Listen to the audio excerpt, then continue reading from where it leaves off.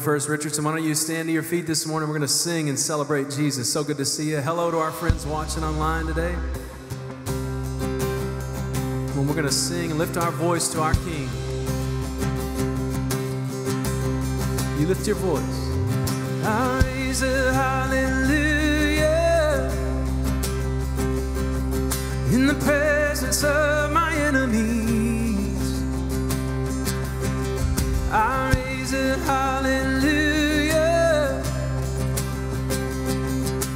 louder than the unbelief.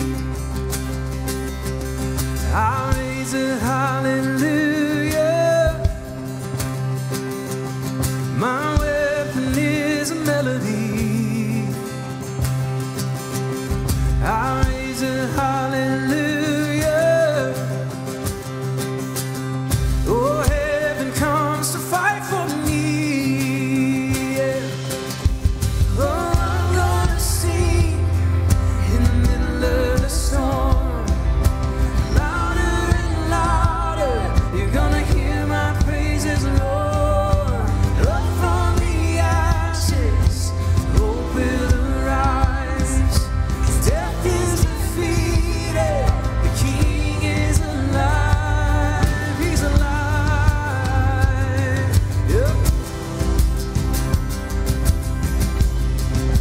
to clear it.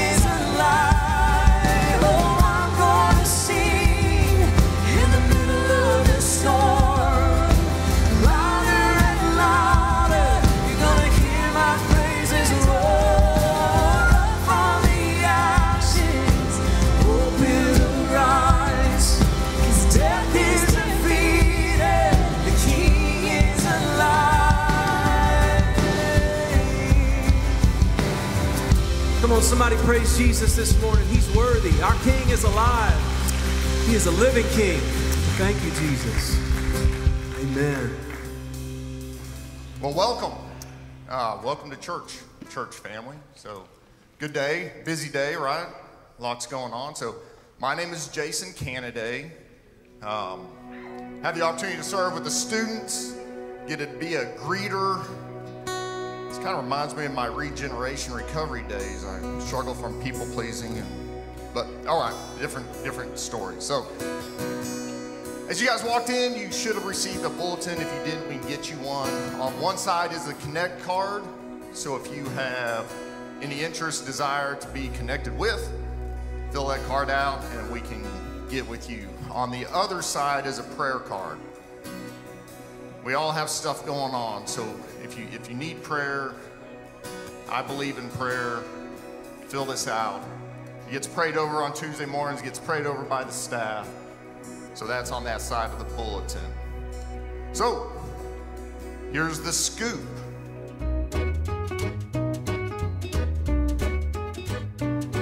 Good morning, and thanks for being here today. I'm Pam Connor. I'm part of the Median Adults Ministry team, and I'm excited to tell you about an upcoming event Friendsgiving!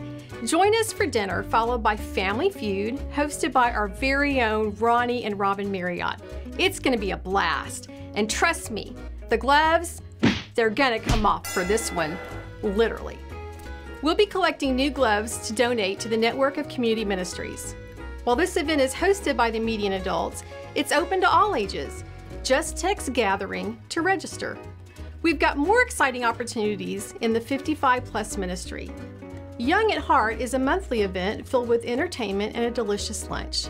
It's a great time for fun, food, and fellowship, with the next gathering being November 21st. And if you're in a mood for a holiday adventure, travel with Tracy to enjoy Christmas in Branson. It's not too late to join the trip. You can grab a brochure at the welcome desk or text Branson to sign up. And kids, don't forget, next Sunday is time change, and that means it's PJs and Pop Tarts time. Wear your pajamas to church, and we'll have Pop Tarts waiting for you in your Sunday morning groups. As we enter the holiday season, many of us look for ways to focus our gratitude and support those in need. Our prayer team has put together these thankfulness calendars with reminders for the month of November. Head over to the tables by the Next Steps room to get yours today. Starting later this week, we'll be kicking off Angel Tree and November for Network. Through Angel Tree, we partner with Cornerstone Ministries to bring Christmas joy to families facing difficult circumstances. If you or someone in our church family is experiencing a tough season, please don't hesitate to reach out confidentially to Ron Evans, our missions pastor, by texting JOY. Throughout November, we'll also be supporting the network of community ministries to fill their shelves. You can help by bringing food items to church next week and dropping them off in the crates in the lobby. If you're short on time, you can make a financial donation and we'll handle the shopping for you. If you have any questions, feel free to stop by the mission wall after worship. Okay, that is the scoop for today. So as we go into the offering prayer, um, your generosity matters. We uh, not only not only outside in the community with Bear Fest, which was awesome. Who took part in Bear Fest? Yeah, it was awesome. Uh, Northridge Elementary, but also here inside of our church to help to help our own too. So, with that being said, I'll bring up my brother Matt. Good morning. If everybody would uh, pray with me, please. Father God, we thank you. Uh, what a beautiful morning and a beautiful time of year, and just to help us to to, to rest and and and just uh, enjoy the blessings of your creation and your presence. Thank you, Lord, for being here in this room with us this morning and everywhere we go. Um, I thank you for the freedom to be here to proclaim your lordship in our lives and to gather together. Father, as we move into the offertory time, I just, uh, you know, know that you are almighty and don't need us, but joy, take joy in our obedience. And I just pray you'd stir our hearts uh, to generosity in your abundance, Lord, with our time, talents, and resources. And I pray that this, this, uh, these uh, resources that are collected this morning would be uh, magnified and multiplied to your glory bless us, Lord. Stir our hearts in this in this service this morning, and and I just pray for your blessings on our uh, uh, Sunday school hour and Bible fellowship hour and uh, the time on the plaza. Thank you, Lord. It's a beautiful day, and uh, it's in Jesus' name we pray. Amen. Stand and continue to worship this morning.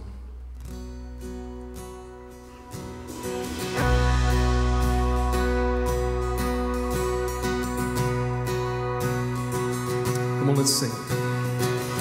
You are mine at the highest will I was lost, but he brought me his love, oh, his love for me. The Son sets free, oh, his feet.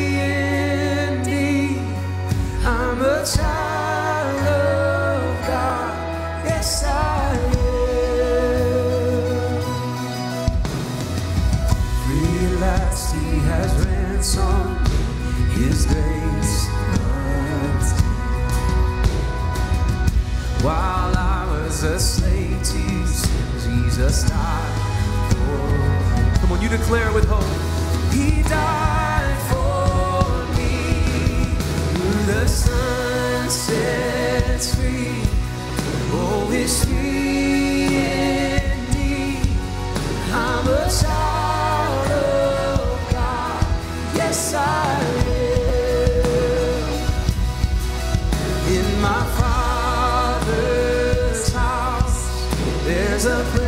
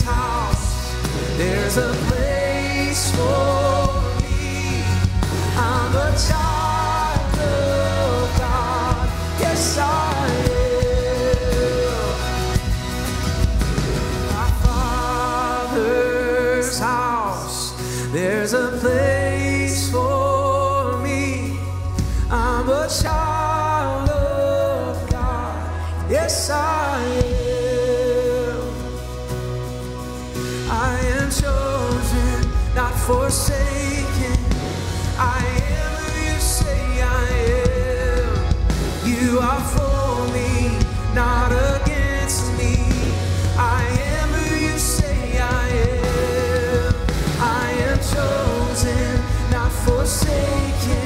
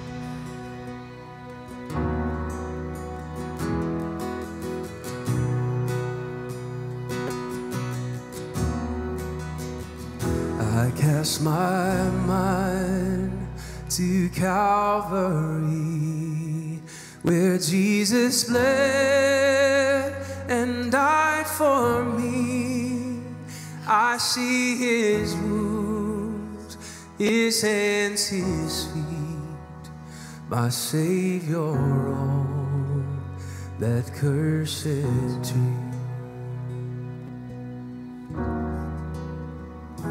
his body bound and drenched in tears.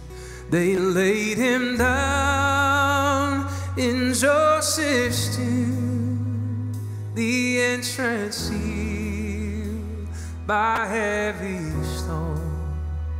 Messiah still and all alone. Come on, let's join with heaven this morning as we sing. Oh, praise. Sing, oh, praise the name of the Lord our God.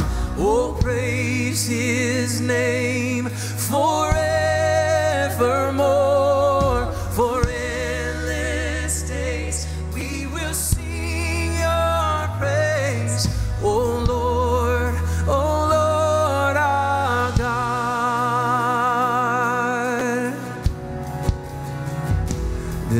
The third, at break of dawn, the Son of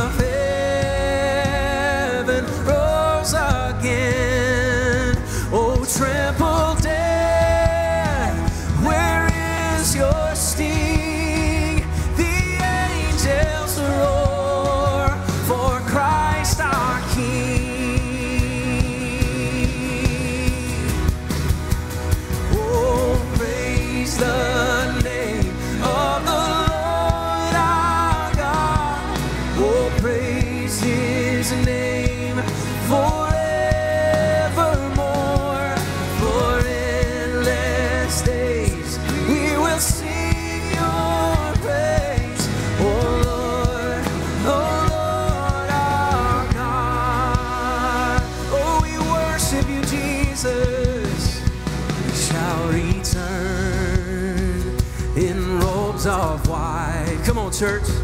The blazing sun shall pierce the night, and I will rise among the saints. My gaze transfixed on Jesus' face.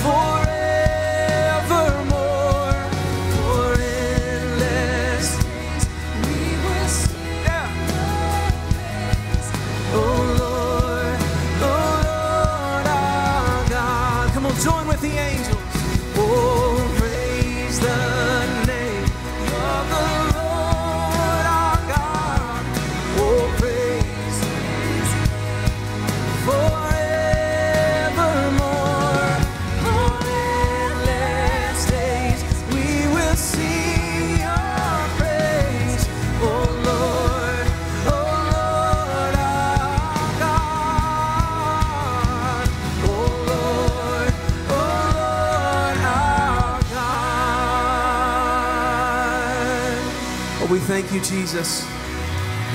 We look to you. We look to you, the author and finisher of our faith this morning. Only you are faithful. Only you are proven worthy.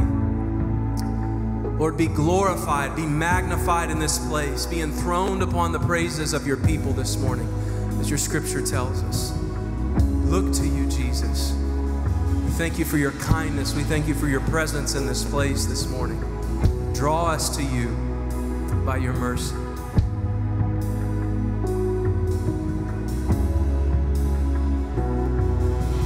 thousand generations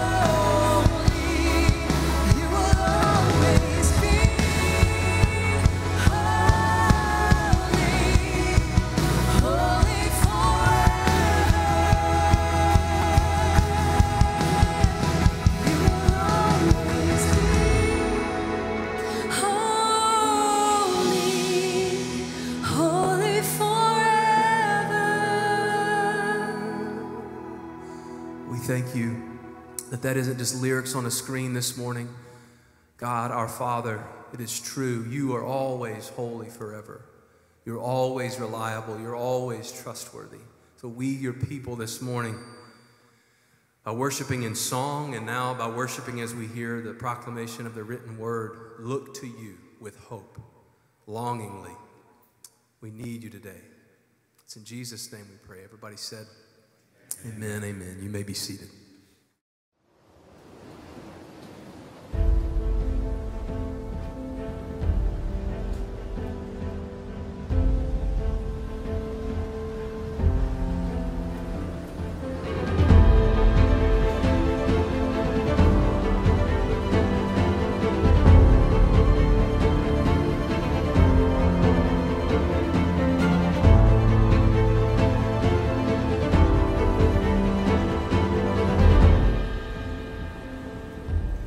Morning, First Richardson. How are you guys doing? Yeah? Great. All right. Yeah. Must have some uh, Red Raider fans in the room. Uh, yeah, sorry about that. Um, yeah. Hey, uh, glad that you're here. I, I know that you've been welcomed already. I want to extend that welcome to you. We're so grateful that you are here. Uh, and also, something you saw on our scoop video, you were encouraged uh, to like, uh, comment, share uh, things from our social media posts at church. I, I want to encourage you to do that when you see that, to, to make a positive comment, uh, to like it, to share it, wh- whatever. Uh, this is one easy way for us to get the word out about what God is doing here in our church. And so it's a very easy thing to do, it's a very low cost thing for us to do.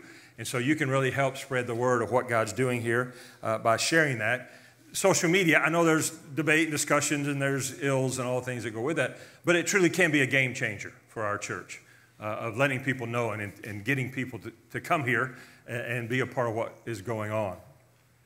Uh, so you guys have had uh, Sam down here for a couple of weeks. Uh, we love him, right? Yes? Thank you, Sam, for coming. Uh, you know, hiring, hiring Sam down, a friend of mine, is truly a game changer for our modern worship service. Uh, so we're grateful. Even for those who are in celebration service, I hope they come over and get a chance to meet Sam from time to time. Those of you joining us online, I hope you'll come on campus and get to meet Sam. Uh, really, hiring him has been a, a, game changer for all of us. So um, you've heard that term, game changer, right? It's kind of popular now today, and it kind of came out of the sports world. Uh, game changers when an individual or, or maybe a team did some, something spectacular or something that kind of changed the trajectory or the course of the game typically taking a, a team from the L column to the W column. From losing the game to actually winning the game, there's a game changing moment that, that happens in, in a game. So we've kind of adopted that phrase, talking about not just sports, but other areas of life. Uh, I was reminded of uh, an event that happened back in 1964, before most of us were actually born. Right? So Ronald Reagan gave a speech. Barry Goldwater was running for president.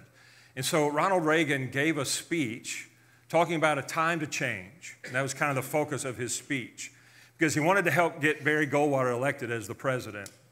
Well, it was a great speech. It didn't cause Goldwater to win, but it was memorable. So memorable, people started paying attention to this guy named Ronald Reagan. He had no really political clout whatsoever at that point. But people started to notice, they were impressed by his speech and what he did. And so actually, the Republican Party started to form groups about electing Reagan in different states. Eventually, he, was became, he became the governor of California, and then in 1981, he became the 40th president of the United States. That speech that he gave, not even on his behalf, but somebody else's behalf, was a game changer for him. I thought about another event that happened back in 1978 with a 15 year old sophomore boy who tried out for his varsity basketball team at Laney High School. And his coach cut him because he said he was too short, he was too slow, and he was too lazy. To which his dad echoed the same thing. He was the laziest kid I ever knew. Right? So he was cut at 15 years old from the basketball teams. But that fired him up. That, that event, it didn't defeat him or deflate him, it actually motivated him. So that summer, during the off season, he worked to get bigger. He worked to grow taller. He had a bar hanging in his backyard. He would go out and hang on the bar in his backyard to try to get taller. His grandmother told him, if you will put salt in your shoes, it'll make you taller. He put salt in his shoes. He tried everything he could. And that summer, between his sophomore and junior year, he grew from five foot 10 to six foot seven. And he began to work on his skills. Eventually, he played basketball for North Carolina, taking them to an NCAA championship. And then Michael Jordan was adopted, was drafted by the Chicago Bulls, and led them to six world championships NBA championships. That was a game changer for Michael. He got cut from the varsity basketball team because he was too slow, too short, too lazy. So rather than be defeated, it motivated him, and he probably, in my estimation, the best basketball player of all times. So that motivated him. Another story, you guys probably know Steve Jobs. Uh, if you have a computer or an iPhone or something from Apple, right? So Steve Jobs quit college. And I'm not saying that's a good thing to do. Right? I'm not saying that's for everybody. But he wanted to take classes that he enjoyed. He had a hard time finding things that he enjoyed. So, one of the classes he took was a calligraphy class where he learns about Sanskrit and different, different typefaces, which didn't mean much in his life then. It didn't have a lot of impact. But 10 years later, he started, built a Microsoft computer. And he started there, and he used what he had learned 10 years before to adopt a new way of writing, a new way of typing, a new format. And so he took what he had learned, and it impacted him in such a way, of course, we all are connected to Steve Jobs in some way, that at the time of his death, he was worth $10 billion. Leaving college to go pursue something he enjoyed was a game changer for him. Well, again, so game changers are not just for sports, they happen in all of our life. Most likely, those of us in the room would say we had a game changing moment when someone cared about us enough to share how much Jesus loved us and what Jesus did for us. And for us, that was a game changer for our life. Or maybe for you, it was, it was when you finally asked that good looking girl out for a date. Right? You finally got up enough nerve to ask her out. You've been wanting to for months. You finally did, and now she's your wife, and you've been married for a number of years. Or maybe it was someone or something that somebody said that inspired you in such a way it changed your course of life. That was true for me in going into ministry with a student pastor that just, just spoke into my life and it changed my whole course of action. So we all have these game changing moments. And if you understand that concept, you're going to be able to relate to chapter 3 of Habakkuk. Because for Habakkuk, his game changing moment was when he looked around and saw all the injustice all the pain and all the oppression that were going on among God's people. And he cries out to the Lord. And he cries out to God for answers and get him to respond. So if you have your Bible, I invite you to open to Habakkuk chapter 3. And the, the two questions we're going to deal with today is first of all, like Habakkuk, when you find yourself in a crisis, in a situation you don't understand or don't like, and you cry out to the Lord, would you be honest enough to say that maybe you desire deliverance from the trial more than you desire the one who will walk through the trial with you? It's oftentimes our prayer God, get me out of this. But is that the right prayer? Do we desire getting out of the trial rather than knowing the one who will take us through the trial? Do we desire God to move, remove the difficulties from our life more than we want to know the one who can get us through difficult times and will be there with us? I think that's a sobering question, especially if you find yourself in a crisis right now. Are we more concerned with changing our circumstances than really getting to know the one who can change circumstances or get us through circumstances in a deeper way? I think this was the crisis of faith Habakkuk was going through because he sees the sin of the people around him. And that's, that's the issue about sin. Sin causes us to focus on ourselves. What can I do to change the situation? What can I do to bring healing or forgiveness? What can I do to fix myself? We're, we're big into self help these days.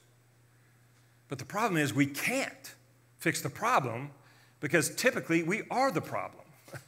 It is our own sin and rebellion that has led us to this condition. Now, sin is not all, I mean, pain and suffering is not always a result of sin. Sometimes we just suffer, sometimes physically, emotionally. We suffer, and it's not a result of sin, but oftentimes it is a result of our own sin. And Habakkuk looked at his people and God's people and realized the reason they're in this situation is because they're rebellion against God. They began to serve and follow other gods. They became very culturally minded so much that it embraced them and overwhelmed their way of thinking, that they began to leave thinking about God and thinking about these false gods. And so they were suffering because of this. But the good news and the good news of the gospel is that we are not worthy. Christ, Jesus, desired a relationship with us. So he became our sin. He became our evil, our wickedness. He became all of that so that he could die and remove the power of that in our lives. That's the good news of the gospel, how much Jesus loves us. So that we can be filled with peace, not fear. And even though we still sin, we know that we've been set free from the power of sin and the punishment and the penalty of sin. And we can actually grow and be stronger in our faith and execute our faith in a different way. So look at Habakkuk 3. Just want to look at the first two verses. A prayer of the prophet Habakkuk according to Shigionoth. Lord, I have heard the report about you. Lord, I stand in awe of your deeds. Revive your work in these years, make it known in these years. So, the first step that we see in Habakkuk, instead of worrying, he focuses on the facts. He says to God, I have heard the reports about you. I've heard the stories of the past about you. And through that, he gains confidence. Through, through that understanding of what God has done in the past, though he can't see God moving in the present, he knows the God of the past, and that gives him confidence. And not only confidence, it really begins to change his perspective. He wrestles with this perception of God. He knows the character of God. He, he knows God and the past histories of God, but what he sees in the present, it seems like God is absent. That's a crisis of faith. We, we all struggle with that from time to time. God, where are you in the midst of this pain and suffering? Where are you in the midst of all this stuff we see in the world? And so we have to rely on what we do know about God, the facts that we do know about Him. So, what we see happening in chapter 3 is God is moving Habakkuk from worry to all the circumstances that he sees to worship. He's moving from worry to worship, which is exactly what God wants to do for us. I mean, the Bible says don't worry, but let's be honest, we worry. There's some things that freak us out, that stress us out, because we don't have control over it. So we begin to worry. The Bible says don't worry. Well, come on, that's a pipe dream. There's no way. But if we can replace worry with worship, it starts to change that. Maybe not change our circumstances, but change how we handle it and how we see that.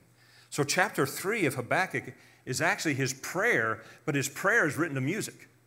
This is actually a prayer song that Habakkuk writes. If you can imagine music playing in the background, much like an intense scene in a movie, it begins to build towards a crescendo at the end, and it's, it's just building and building and building. Kind of like the Jaws theme, right? Just building and building and building getting towards a point as he prays and he, his mind begins to change, his perspective begins to change. In fact, this prayer was a song to be sung. The Jews sang it three times.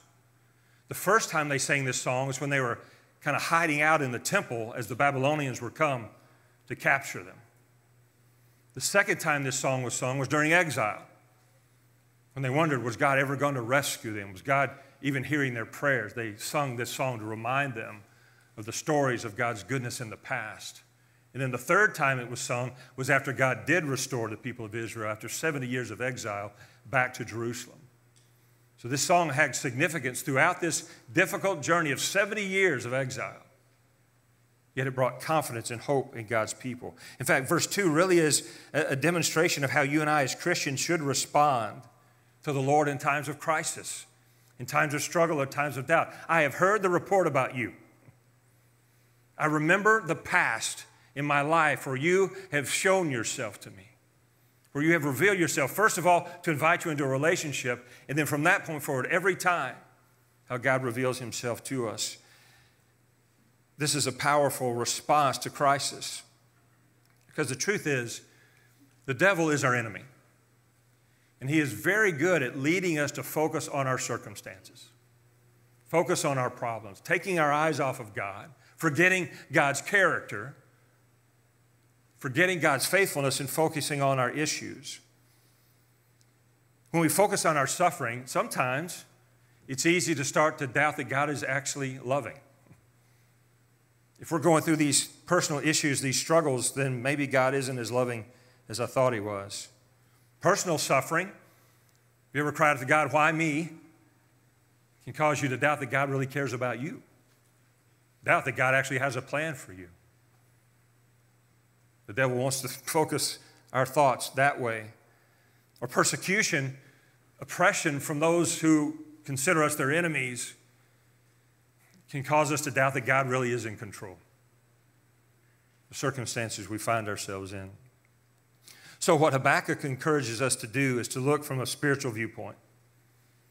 Remember the passage all have sinned and fall short of the glory of God. All of us are guilty of sin, Yet, in God's grace and mercy, He sent His Son to take our place, to give us hope and life and peace and joy now.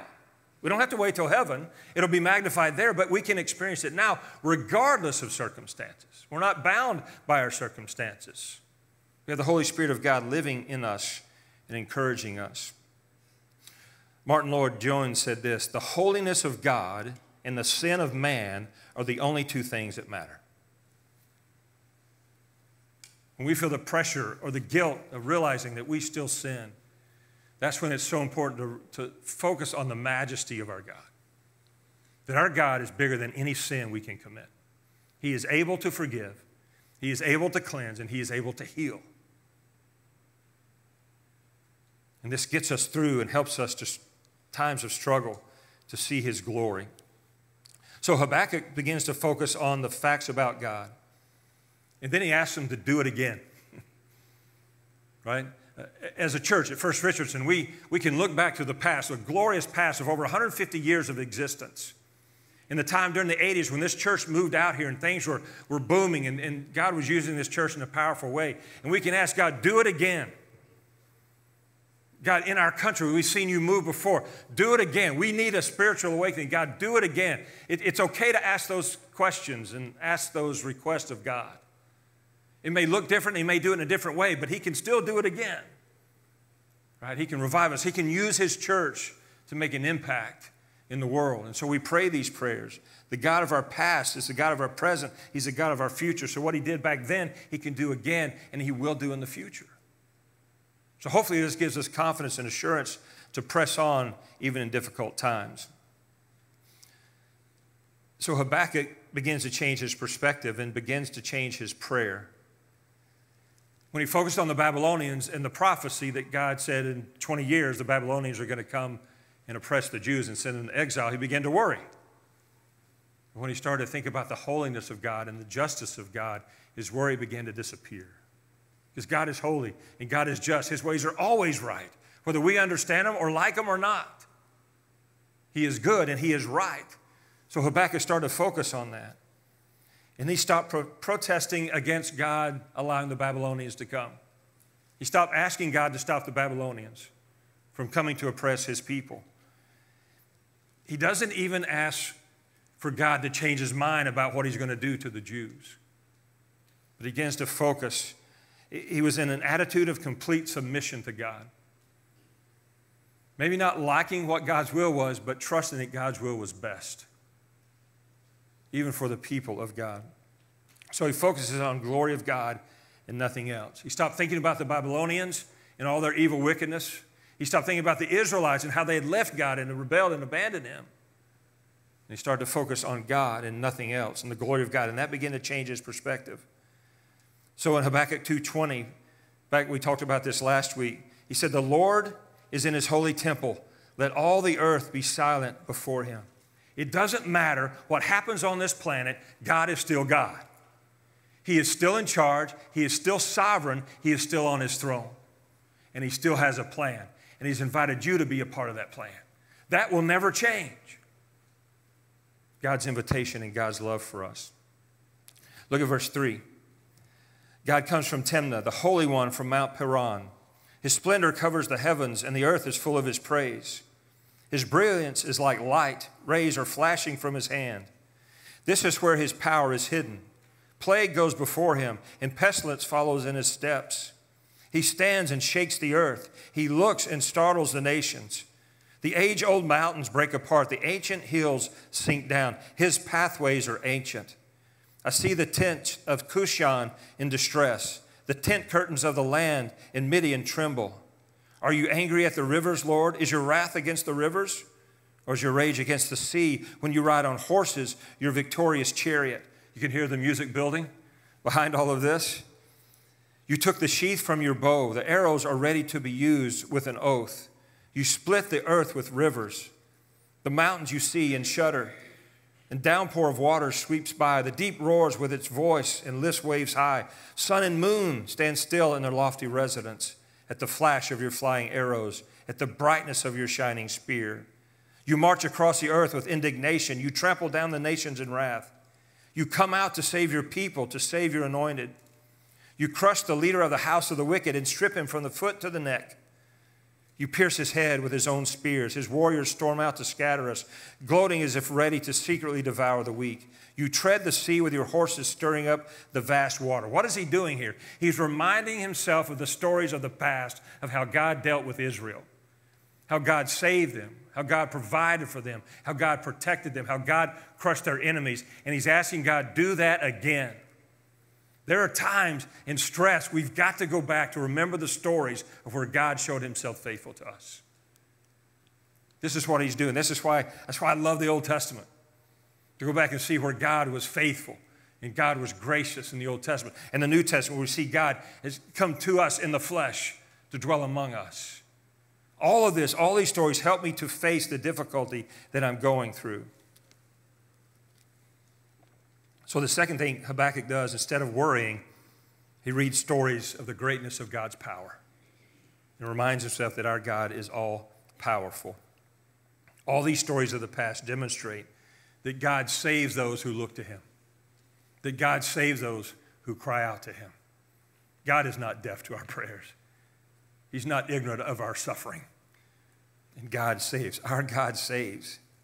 And the God who makes promises is powerful enough to fulfill them. As crazy as they might sound, He is powerful enough to fulfill every one of His promises. All these stories demonstrate that.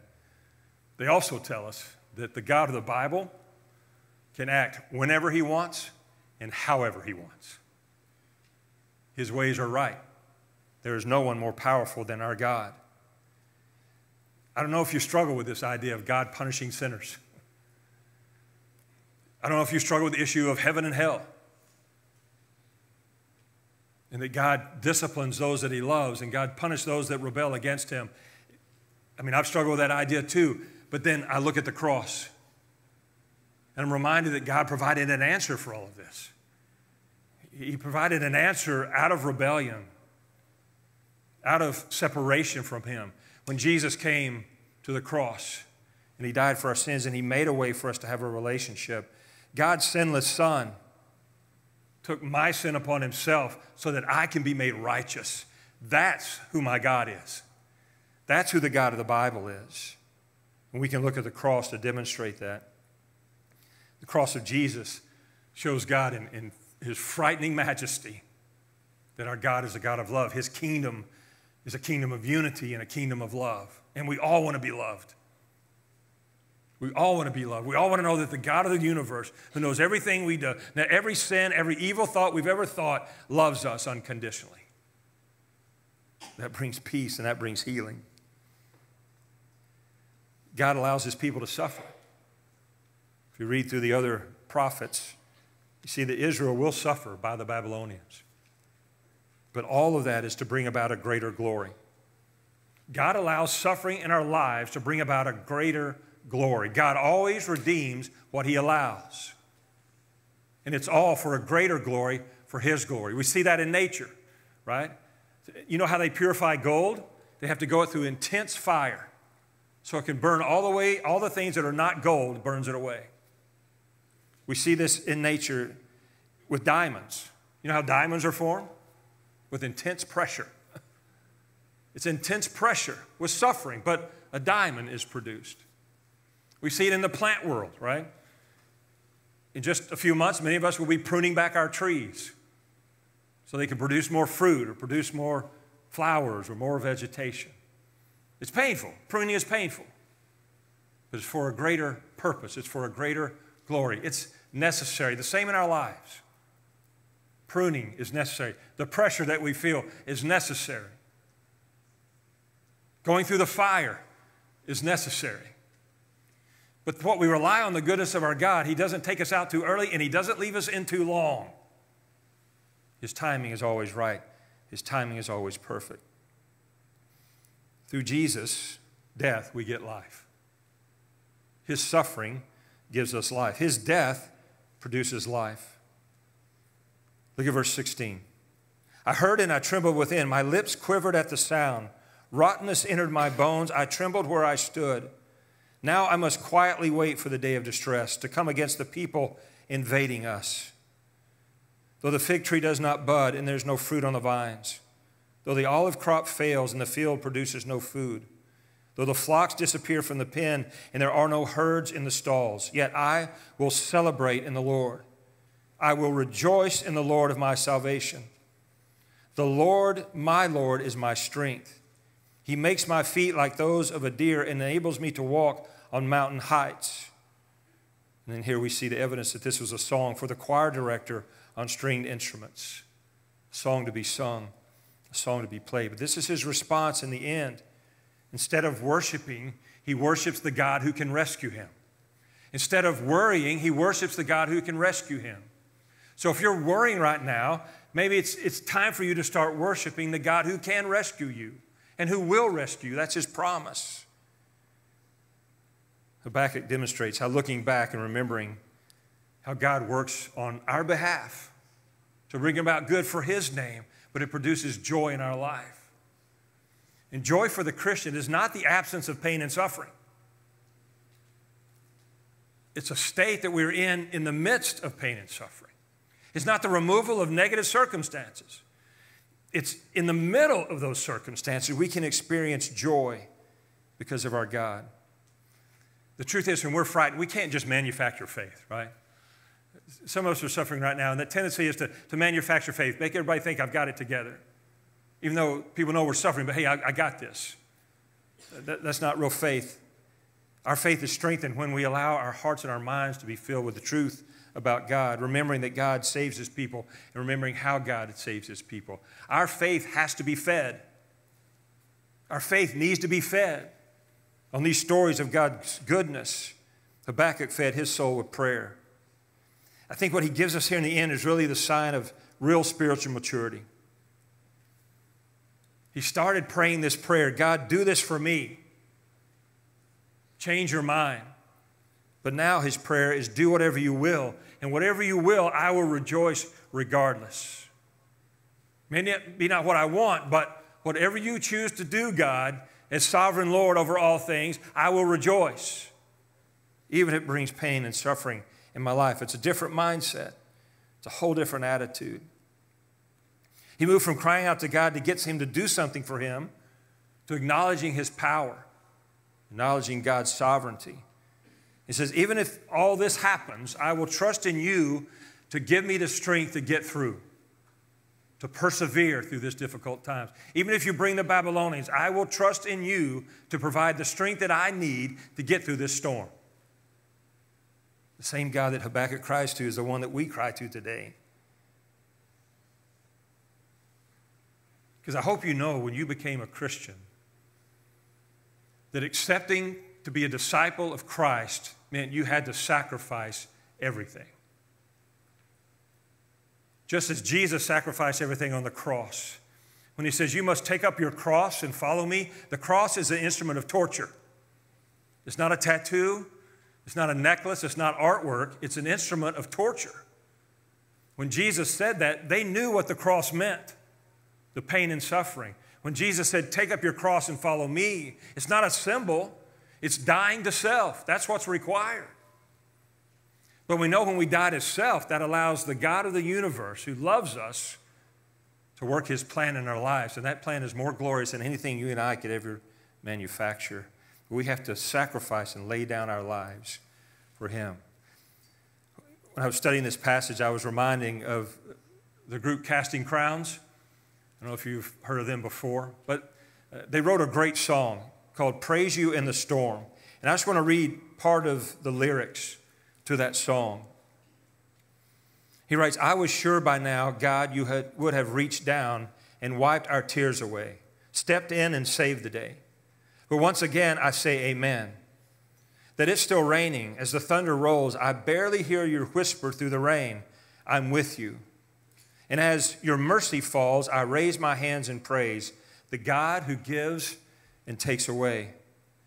And I'll praise you in the storm, and I will lift my hands that you are who you are, no matter where I am. And every tear I've cried, you hold in your hand. You never left my side. And though my heart is torn, I will praise you in the storm. The truth is, you and I don't have to be strong. Our sovereign Lord is our strength. He fights our battles for us. Martyn Lloyd-Jones said this The moment we become really concerned about the state of our soul, instead of our affliction, we're on the high road to God's blessing. I think a sign of spiritual maturity is when we can say, as Christians, with confidence and security and sincerity, that I can praise you in the storm, that I will praise you in the storm. That's a sign that we are maturing in our faith and understanding in a deep way the goodness of our God. So this morning, I want to challenge all of us to ask this question Is there anything in my life right now that warrants the Lord's discipline? Is there any sin that I'm hanging on to? Anything, any attitude, any behavior that I'm hanging on to that deserves God's discipline to remove that from me? Ask Him what it is because God has given a great solution to our sin. We can confess and repent.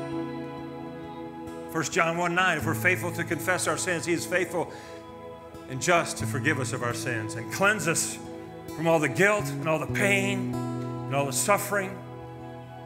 This is the goodness of our God. It's a game changer. God is a game changer in our lives. This past week, we've been praying for the lost. We've been praying for game changes in their lives. People that we know that are far from God, that don't have a relationship with God. Prayer is a game changer. In fact, we have a shirt that says that, right? Prayer changes everything. Praying for the lost is a game changer. So, this morning, just a minute, I want to invite you to come down to the front in both rooms. To come down to the front. You have cards with names on them that you've been praying for. Don't stop praying until God saves them. In just a minute, we're all going to come down the front. We're going to have a mass prayer for these people. But then there's a next step I want you to take. When you leave the worship centers this morning, you're going to get a card. It looks exactly like this one. It's an invitation card. If the people on your card, the people you've been praying for that don't have a relationship with God, are close by and can get here, I want you to invite them with this card. But even if you don't know someone close by, or you haven't been a part of the prayer week this week, I want you to take a card. Everybody's going to get a card today. Because I want you armed with ammo. Because when you meet someone who doesn't have a church home, I want you to have a card to give them. It's got an invitation, it's got a QR code. You can find out more about our church. When you meet somebody, maybe somebody waiting at your table, maybe at the grocery store, the gas station, on the sports field, or maybe your classroom, hey, I'd like to invite you to my church. I want you to have this card with you. And I want you to give it away. And when you give it away, we've got more. If you don't give it away, it, it turns to worms and causes havoc in your life, right? It doesn't do any good sitting in your pocket, but it can do a whole lot of good. It could be a game changer for somebody's life. If somebody cared enough about them to invite them to their church. Very simple ask, right? You can do this. So, right now, in both rooms, I'm going to ask you to stand. I'm going to ask you to move to the front. We're all going to gather at the front and we're going to pray together.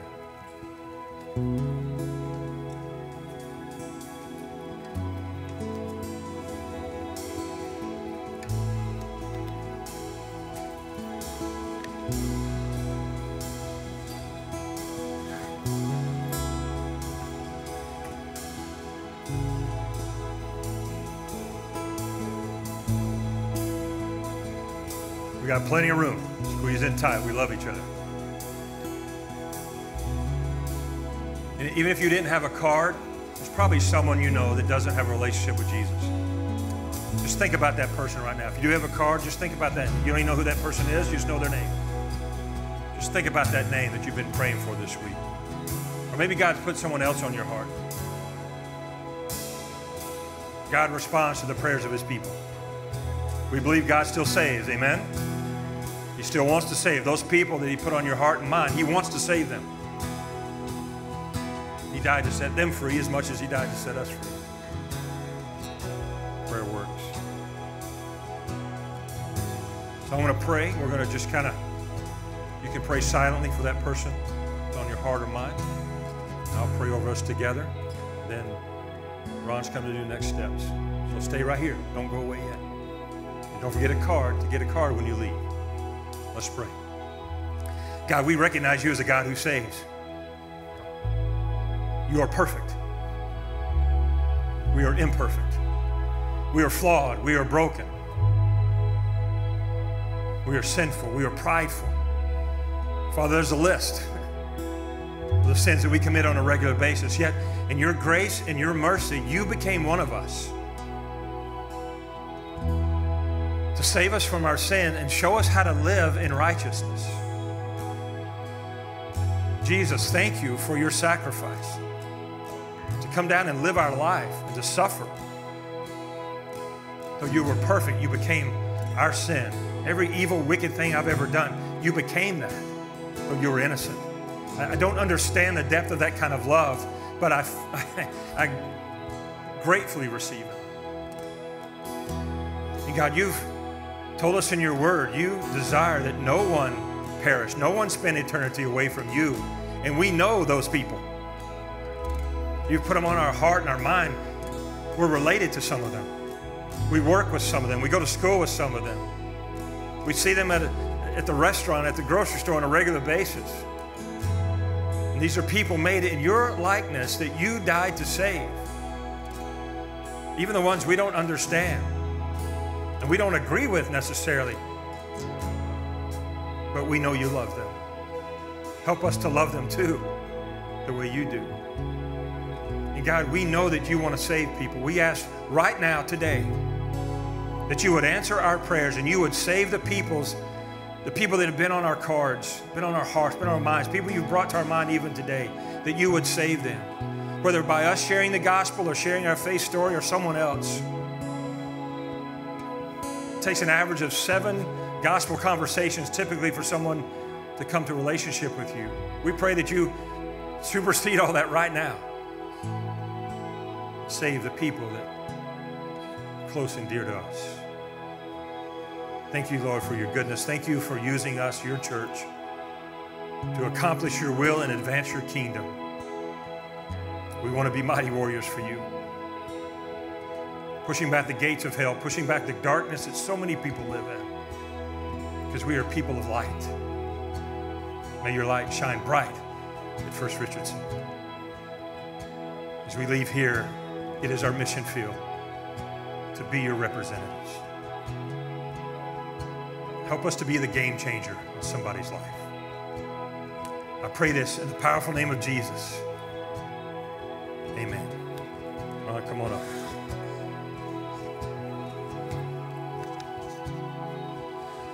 Thank you for that, Ronnie. So um, I'm going to continue. We're going to sing some more, and I'm going to continue to be down here. And um, maybe, maybe you're somebody in this room that uh, you were on a card at one time, or you're you're on a card now that someone's praying for you. Maybe you're a visitor here, and you don't know Jesus as your Lord and Savior. I'm going to be down front here as we as we leave, and I'm going to be here. You can come talk to me, and I would love to tell you about my Jesus. And I promise you this, it'll be the most amazing thing you've ever done when you give your life over to Him. In addition to that, maybe you, uh, maybe you've been coming here, maybe you know Jesus, you're not a member of our church.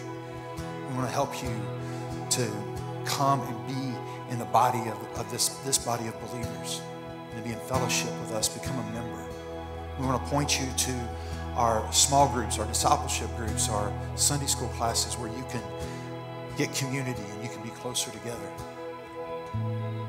And I want to take you on a mission trip with me. All right? So as we go, know that I'll be down here and uh, Ronnie and other pastors will be at the Next Steps room. So whatever's going on in your life, if you want us to pray with that, we'd love to pray with you. And continue this week continue to pray for those that you prayed with for this morning. That our God, the same God that rescued us, would rescue them. Father, we praise you. We thank you.